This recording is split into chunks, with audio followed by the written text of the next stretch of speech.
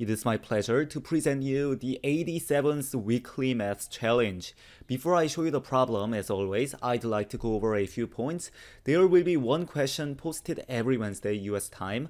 I highly encourage you to comment your proposed answer along with an explanation below, keeping in mind that only unedited non-reply comments will be accepted up to the first 10 people to post correct solutions to the problem will be recognized like this. Congratulations, Gabriel N, for being the very first person to correctly answer the last week's challenge. Let's recognize 9 more people. Congratulations, Essentials of Math, Peter F. Mako F. Mako. Congratulations, Hiren Bavaskar, Paco Libre, Aby P.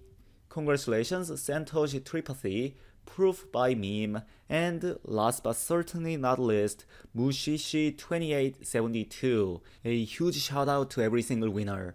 Now let's take a look at this week's challenge. We have a diagram given to us, and here is the problem statement. In triangle ABC, A is 45, B is 75, and C is 60 degrees.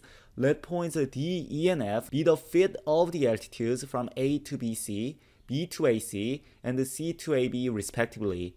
Additionally, let points G, H, and I be the feet of the altitudes from A to EF, B to DF, and C to DE respectively. Find the degree measure of the angle HGI.